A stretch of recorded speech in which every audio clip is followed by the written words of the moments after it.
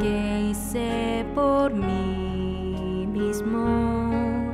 Es el Padre que ha hecho en mi lugar. Lo que hice fue tan solo orar diario por la gloria del Señor y por las almas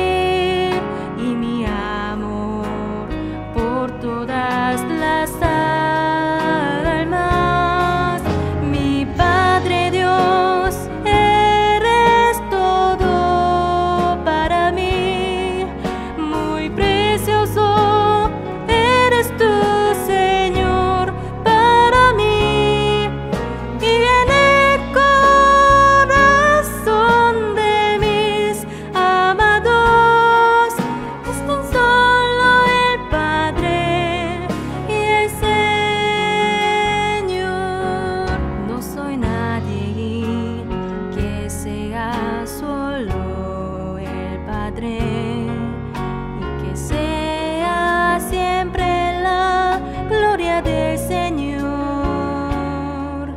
y que muchas almas vayan.